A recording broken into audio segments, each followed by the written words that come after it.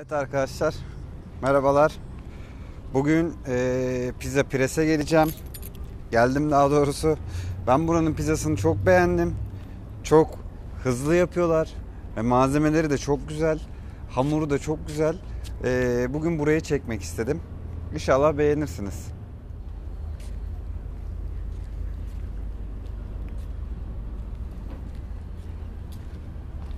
Evet, eee, mekanın konsepti şey, kendi pizzanı kendin bas gibilerinden. Hani gazete basar gibi.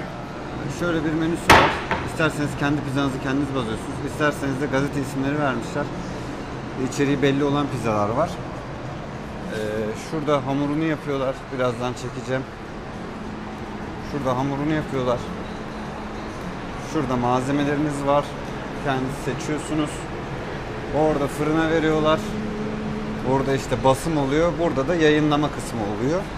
Burada da parasını ödüyorsunuz. Ve sahip oluyorsunuz. İçerisi hoş. Şöyle göstereyim.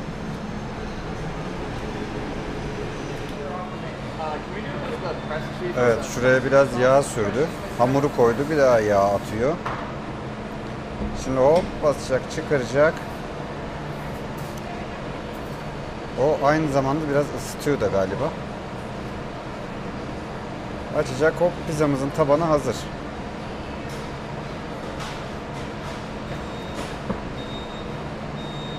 Hop al sana taban. Onu deliyorlar. Batır kütür deldi.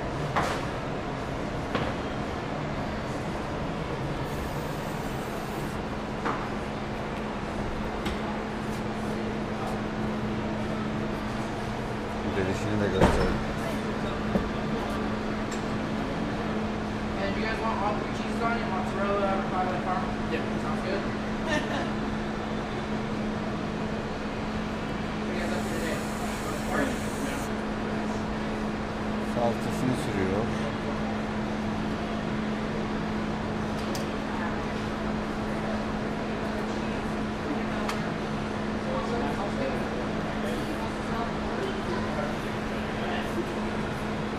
Pizzayı koydu. Burası da publish kısmı. Ee, buradan da pizzanız çıkıyor. Üzerine istediğiniz sosu koyup devam edebiliyorsunuz. Daha doğrusu ödemeye geçiyorsunuz. Ödemeye geçtikten sonra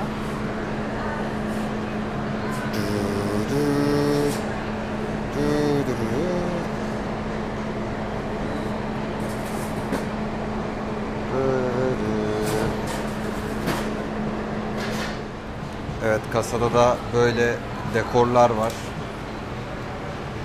Get? Gel pizza.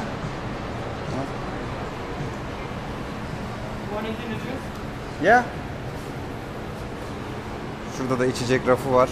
Ama aynı zamanda tabi doldurma içecek de alabiliyoruz. Evet. Gözüküyor mu bilmiyorum ama eee 13 dolar tuttu. 13.47 dolar tuttu. İçecek ve pizzam. Evet, eee, pizzamız geldi. Adamlar çeşit yapmış. Şu olayı çok seviyorum işte. Bardağınızı alıyorsunuz. Hop. Ne içmek istiyorsanız gelip buradan doldurup gidiyorsunuz. Pizzamızı da şöyle gösterelim. İçinde hindi hindi sucuklarımız var. Cillop gibi yani. Jalapeno'muz var. Üstünde pesto sosumuz ve ananas var.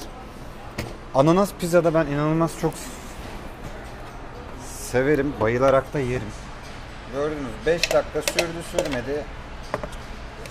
Şu pizzayı almamız çok güzel gözüküyor.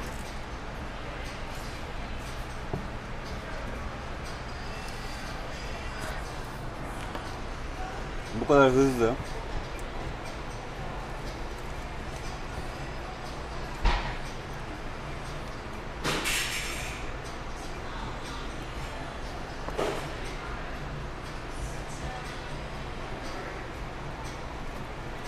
Amerika'da en çok sevdiğim şey Türkiye'de biz rahat rahat sarımsak yiyemezdik.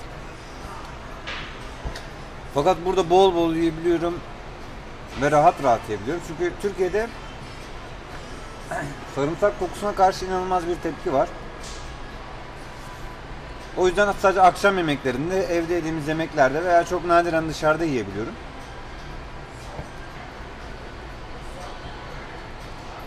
Ama buradaysa, burada neredeyse 3 öğün sarımsak yiyebiliyorum.